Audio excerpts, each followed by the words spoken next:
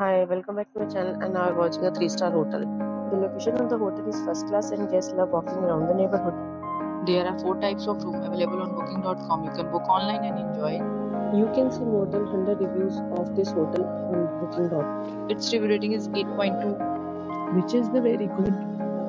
The check-in time of this hotel is 12 pm and the checkout time is 12 pm.